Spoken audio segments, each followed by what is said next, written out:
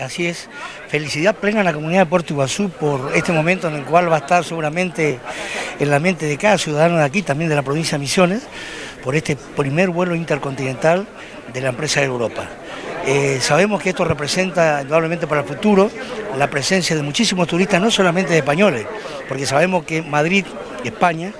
es prácticamente la puerta de salida de muchísimos países del Medio Oriente y de Asia. Así que con expectativas eh, muy grandes como para seguir recibiendo a muchísimos turistas, seguir trabajando todos juntos entre el Estado Nacional, el Estado Provincial, el Estado Municipal, el privado, para que en última instancia se dé la oportunidad a toda la gente de estos pueblos a tener una esperanza y un futuro mejor. Sobre todo esto, ¿no? La cifra contundente de la cantidad de gente, bueno, la multiplicación de la visita y que el trabajo que genera para la localidad de Catrat. Totalmente, totalmente. Ha sido en julio un récord histórico de la cantidad de visitantes vía aquí aeropuerto eh, y también por supuesto ya estamos llegando casi a millón de turistas también en el área del Parque Nacionales